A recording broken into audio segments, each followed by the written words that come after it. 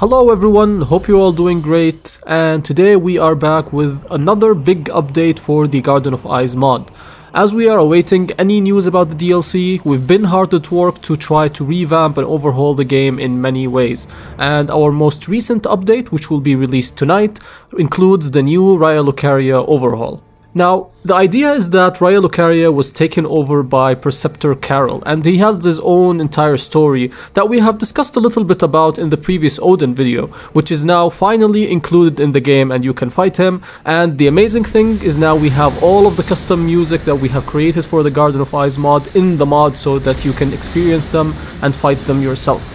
Now you will notice that Raya Lucaria looks very different. Uh, all of the glintstone is being corrupted by the old blood. You'll find new enemies. You will fight, finally, as one of the most awaited bosses that people wanted to fight in the mod, which is Lady Maria, which we have as the Blood Hunter's Apparition boss fight. And when you're exploring Raya Lucaria, you will notice that there is a lot of blood that's being sacrificed everywhere, and it has become very gory of a place. And at the very top, you will find Preceptor Caryll. If you are a Bloodborne fan, you will get the reference of why he looks like this, but the idea is that Caryll did not die in Bloodborne, but he was transported by Oedon into the world of Elden Ring, where Oedon is the primeval current and outer god. And if you want to watch the entire boss fight and all of that, make sure to check out that video right now. However, this is not the main focus of our video today. Our main focus is Rennala. So where did Rennala go?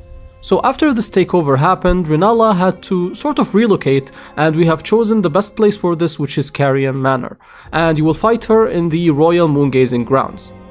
You will notice a little bit of a bubble shield and when you enter it's going to be triggering the cutscene.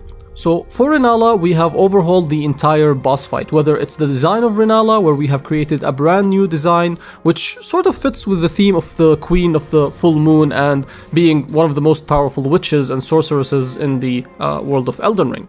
Far and wide.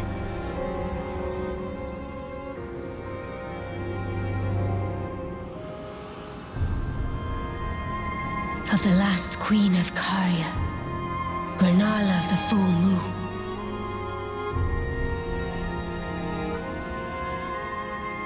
And the majesty of the night she conjureth.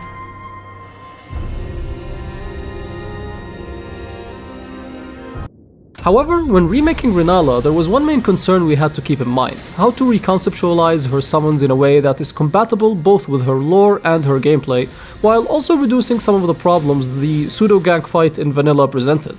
As such, the most reasonable perspective for us was to redo the means through which the summon system interacts with Rennala. So instead of the summons having free reign in the fight or false free reign as Rennala's summons in vanilla Elden Ring were still fairly restricted, now her summons act in a fashion similar to Malenia's. They are by and large extensions of Rennala as opposed to another entity in the fight. This way, we managed to create a gank fight that is much more controlled and therefore manageable. When you first enter the fight, you will face against Rennala alone, and you need to familiarize yourself with her new moveset here. She got multiple new attacks like Carian Piercer, a modified version of the player spell that acts as a gap closer for her, allowing her to travel massive distances to reach the player, but it is interruptible with any attack in order to allow for counterplay similar to Strafe's, and another attack, which is Carian Grandeur, a close range, fast melee option for her that cannot be interrupted, but can be strafed. In giving Rennala hyper armor during it, we've also extended the punish window on it from often one hit to up to 3 safe consistent hits, as long as you punish the windup. She also gets two new spells, a medium range triple glintstone arc that if you run under you can low profile, and a sideways comet azure that can 360 around her that you either have to outspace or roll through. When she reaches 80% HP, this is when the first new summon appears which is Blaidd.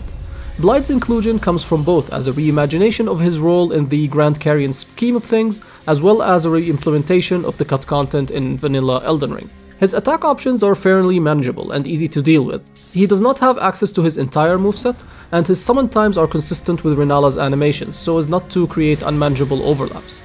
This Blaidd summon phase lasts about until 50% when Rennala will get her second summon, Blaidd being replaced by a manifestation of her longing and pain birthed from the egg she so closely held dear, Radagon.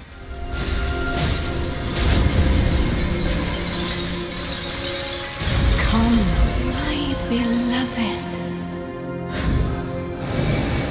He operates much like Blaidd, with the caveat that his attacks cover much more range, can be large AoEs that require specific rolls, much like in the regular Radagon fight, and he's a lot more active in general. The cherry on top is that whenever Radagon isn't attacking, he can be instantly teleported in front of Rennala to parry any and all projectiles aimed at her. Naturally, the counterplay to this is to manage your ranged attacks against Rennala whenever he is active doing attacks, ideally in an effort to incentivize more active play from ranged builds without making them completely ineffective.